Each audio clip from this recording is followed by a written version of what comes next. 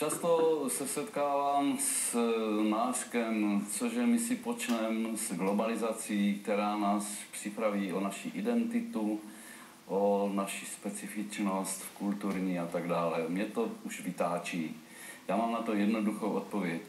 Nám nikdo naši specifiku a identitu národní nemůže vzít, pokud si ji nenecháme vzít dobrovolně, z vlastní hlouposti a lhostejnosti. Přičemž lhostejnost je to největší nebezpečí, jako může existovat. Pak se mě ještě ptají, jaká je nejlepší ochrana lidové kultury. A já říkám, lidová kultura, lidová písnička třeba, je nejlépe chráněna, když ji nosíme ve svém srdci. To nás totiž potom provází celý život a ve všech životních okamžicích. A tím plní od Pána Boha danou nejzákladnější funkci. To je zázrak. A když bude schovaná tady, tak nám ji taky nikdo nevezme. A k tomu, aby byla schována tady, strážnica pomáhá už 67 let. A já znovu říkám, až si dá někdo jednou práci, kdo to zrechnuje, tak se ukáže, že strážnické slavnosti jsou kulturní statek, který by tento národ a tato země měla chránit a ocenit. Měla by si ho fakt na ten seznam zapsat. To je celé. To bylo nadčasové a velice pravdivé.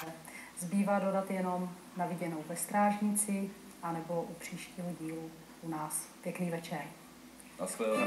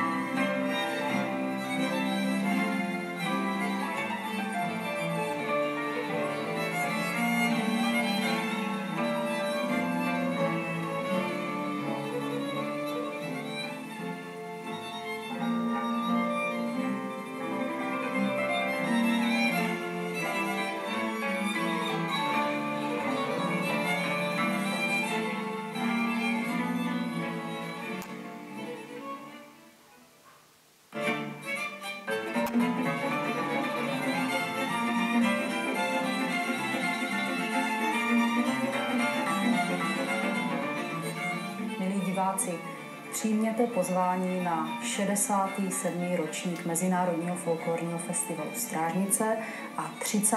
ročník folklorního festivalu Dětská strážnice, který se uskuteční ve dnech 21. až 24. června.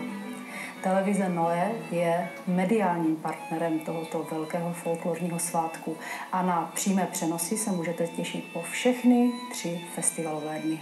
Tak na viděnou ve Strážnici.